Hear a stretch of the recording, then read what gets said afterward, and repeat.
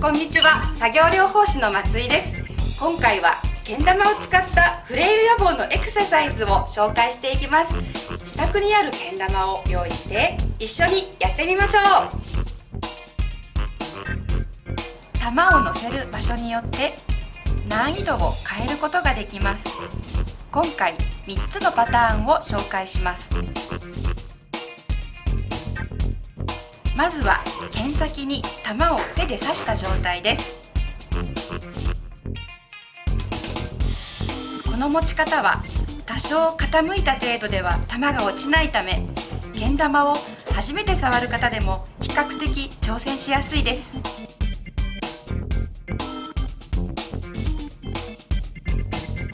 次に大皿または小皿に玉を乗せた状態です。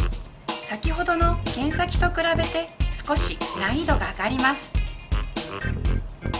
大皿か小皿に玉が乗っていれば大丈夫ですので剣の向きはご自身の持ちやすい向きで持ってください。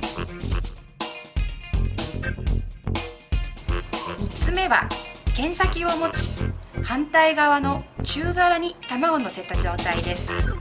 これは剣と玉の距離が離れバランスを必要とするため難易度の高い持ち方となります。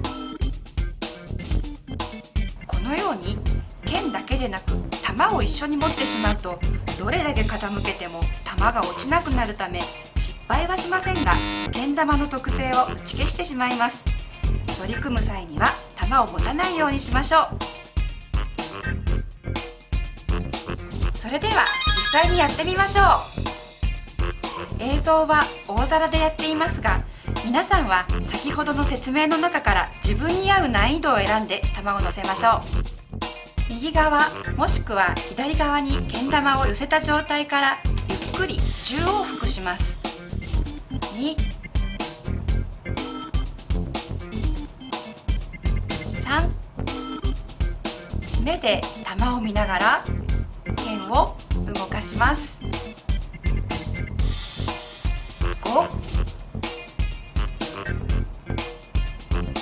六七八九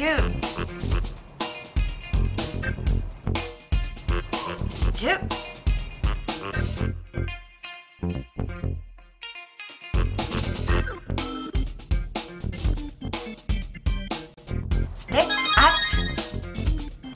今度は先ほどの動きに上下の動きを加えます。1 2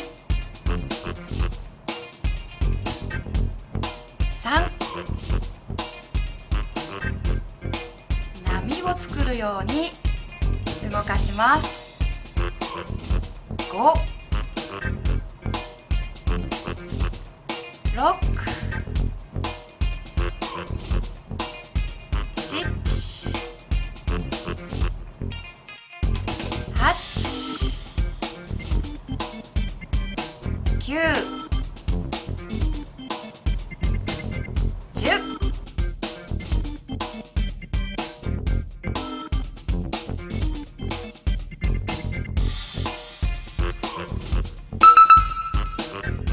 まり早く動かすと体操の効果が薄れてしまったり怪我や破損の原因ともなりますのでゆっくり安全に楽しみましょう。